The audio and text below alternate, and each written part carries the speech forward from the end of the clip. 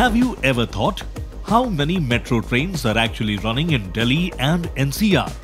And how many trips do they perform daily?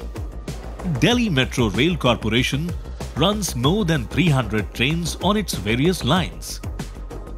The total trips performed by these trains are close to 5,500 trips per day. All trains are running with an average headway of 3 minutes. Managing and monitoring of nearly 300 trains running at an average interval of 3 minutes is not a simple task. The Operation Control Center of Delhi Metro controls the availability of train service with the help of signaling systems.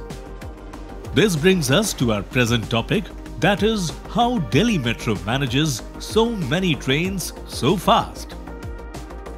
The signaling system that takes care of scheduling, controlling, managing and supervising the running of metro trains throughout the day on different lines and sections of Delhi Metro is known as Automatic Train Supervision System.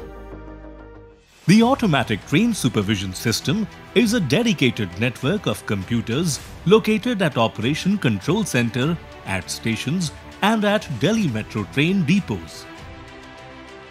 The main role of this system is to act as a mediator between the signaling system, which is actually controlling the operations of trains, and the traffic controllers or the station controllers who are responsible for providing the train services to the passengers.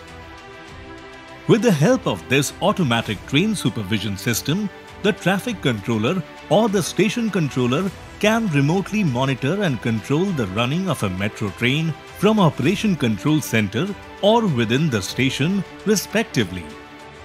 The computer screen view of the automatic train supervision computer is in fact the actual layout of the entire line or section in the form of a graphical display.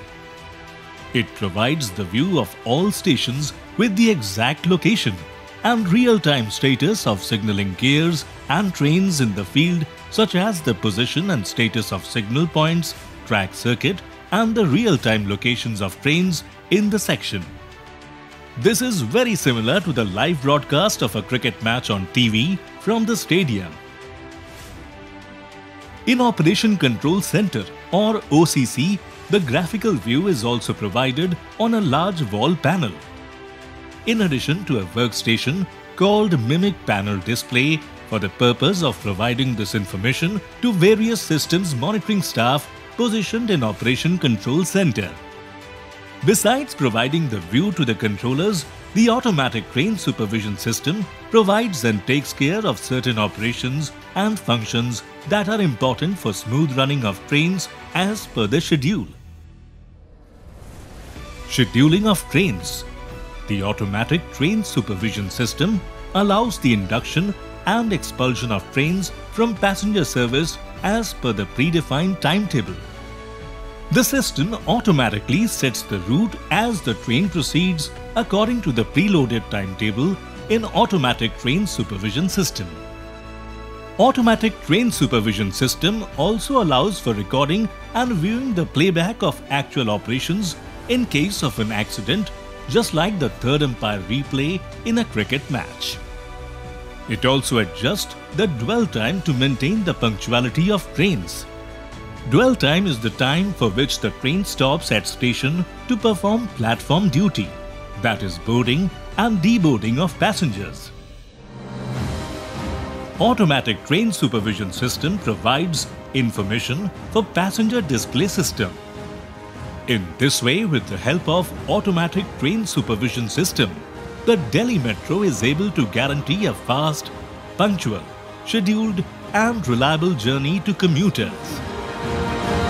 Thank you. You were watching a video by Delhi Metro Rail Academy.